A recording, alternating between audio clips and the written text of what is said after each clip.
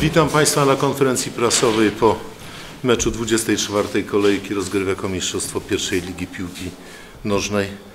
Olimpia pokonała 2 do 1 szczecińską Pogoń. Z nami dzisiaj jest Pan Marcin Sasal, trener zespołu Pogoni Szczecin, Pan Szymon Szałachowski, asystent trenera Olimpii Elbląskiej. Poproszę Panów o krótkie komentarze. Może zaczniemy od trenera zespołu gości. No cóż, porażka jest przede wszystkim wstydliwa, bo w pierwszej połowie nie wykorzystaliśmy sytuacji i przewagi, którą żeśmy sobie zrobili, graliśmy podaniami i rzeczywiście optyczną przewagę mieliśmy, ale nie potrafiliśmy strzelić bramki. W drugiej połowie naraziliśmy się na kontry.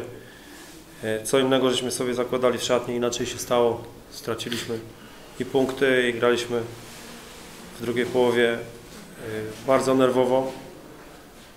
Rzeczywiście błędy, które żeśmy popełnili, kosztowały nas utratę dwóch bramek. Nie potrafiliśmy strzelić, ratowaliśmy remis. Jeszcze Hernani miał w końcówce meczu dobrą sytuację do strzału do pustej bramki. Rzeczywiście wstyd. Na pewno jesteśmy na, byliśmy na pierwszym miejscu, już nie, na pewno nie jesteśmy. Przegraliśmy z ostatnią drużyną w tabeli i niestety skompromitowaliśmy się tym świątecznym okresie. Dziękuję.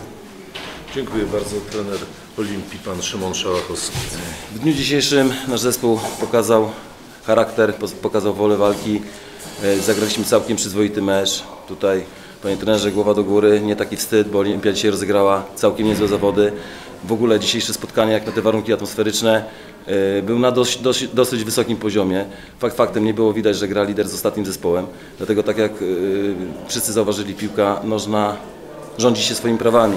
Dopóki piłka w grze, e, wszystko jest możliwe. E, Tutaj chciałbym e, podziękować przede wszystkim zawodnikom, że udźwignęli presję.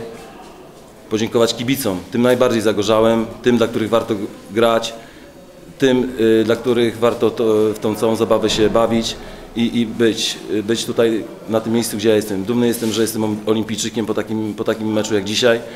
Y, Atmosfera w szatni jest w tej chwili bardzo dobra.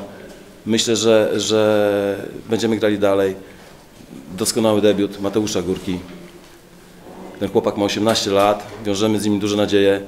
Y, Niezły występ y, Rogaczowa, czyli, czyli ta polityka transferowa nie jest taka najgorsza, jak to, jak to y, mówią malkontenci.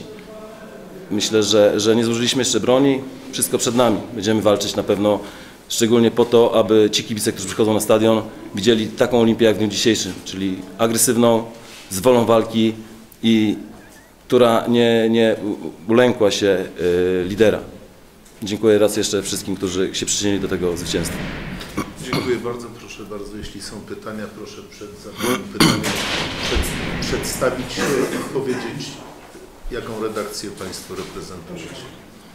Jerzy Kuczyński, Dziennik Elbląski. Panie trenerze, w przedmeczowych wypowiedziach Pana do prasy lokalnej gazet szczecińskich i tuż przed meczem Pan zapowiadał, że nawet remis w Elblągu będzie Pana porażką. Dzisiaj pozostawia Pan komplet- komplet tego punktu. Czy nie ma Pan nic do siebie do, do zarzucenia? Bo ja uważam, że zmienia Pan zawodnika Kalendowicza, jednego z najlepszych zawodników i to też ma wpływ na pewną grę. Dlaczego tak się W której minucie rozpoczynamy Kolendowicz, Pan może wie. Tak? Kalendowicz, o ja mówię o Kalendowiczu. Kolendowicz został zmieniony w końcówce meczu na własną prośbę, bo już nie miał siły. Czy Pan grał w tak? Nie. Normalna zmiana. proszę pana. Wynikająca z tego, że zawodnik po prostu dał z siebie wszystko i wszedł za niego Lewandowski, też lewy pomoc. Czy można mówić o kryzysie zespołu, kiedy pan trzeci mecz rzędu przegrywa? Można mówić. Wszystko można mówić w tej chwili. I wszystko można dopasować do danego wyniku.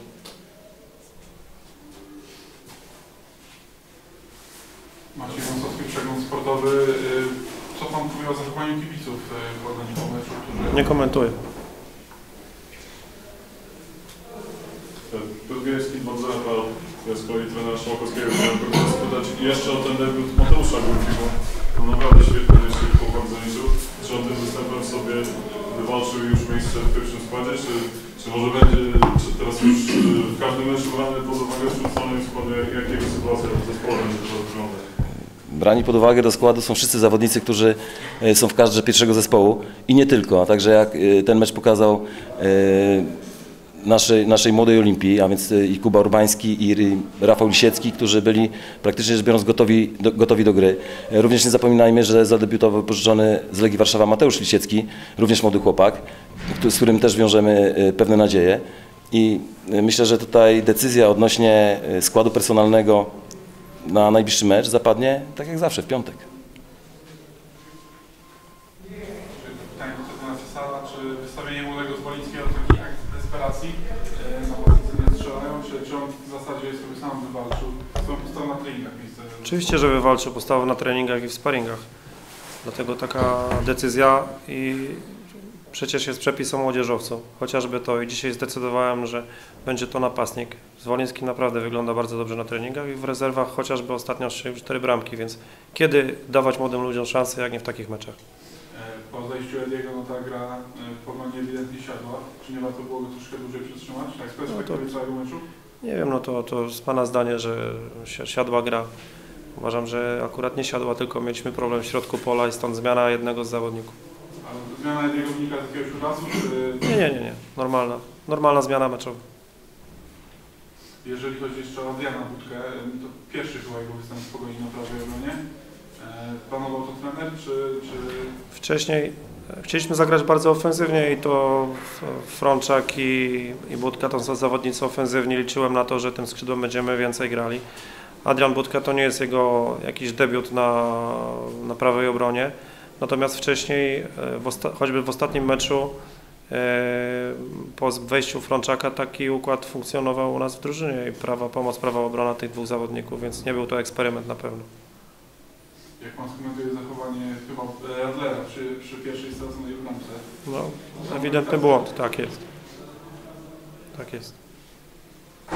Kuba Staszkiewicz, Arem Sport. Po rundzie jesiennej mówił Pan, że właśnie na środku obrony jest największy problem w Pogoni. Dokonaliście tutaj pewnych, no, e, pewnych, pewnych wzmocnień. Piłkarz, który przy Ternanie, akurat do niego nie można się przyczepić, ale to jest drugi kolejny mecz, kiedy środkowy obrońca de facto stawia spotkanie na korzyść błąd tego obrońcy. Ustawia Ja bym nawet powiedział, że trzeci mecz, ale nawet trzeci. tak, Czyli tak. tutaj jest dalej, czyli tutaj jest dalej problem na tej No pozycji. jest problem, zmieniam zawodników i na tej pozycji każdy z nich robi błęd. Czy pan podtrzymuje cel drużyny, walka o awans? Andrzej Oczywiście, dopóki- Radio. Dopóki jest szansa, oczywiście, że będziemy walczyć. Yy, W tej chwili nic nam nie pozostaje, tylko wziąć się do pracy i walczyć dalej. Nie możemy się poddać absolutnie. Czy Pan się liczy z tym, że po tym meczu przegranym dzisiejszym i trzecim rzędu będą jakieś męskie rozmowy Pana z zarządem klubu? Zawsze trzeba rozmawiać, zawsze są. Ja się liczę ze wszystkim, taka jest praca trenera. A niech pan powie jeszcze, czy, czy widać po drużynie jakieś, nie wiem, że fizycznie oni siadli w tej, siedli w tej chwili, e, jakaś zapaść jest, jeżeli o to chodzi, czy, czy ba, bardziej brakuje szczęścia? Jeszcze raz mówię, wszystko można teraz dopasować. Można powiedzieć, że jesteśmy za wolni, nieprzygotowani, słabo gramy w piłkę, kryzys i tak dalej. To wszystko można dopasować poprzez pryzmat wyniku, także, także nie będę teraz tłumaczył, że- nie będę tłumaczył, że jest fajnie, skoro nie jest, skoro punktów nie ma. Czy jeszcze jakieś pytania? Dziękujemy bardzo. Bardzo dziękuję.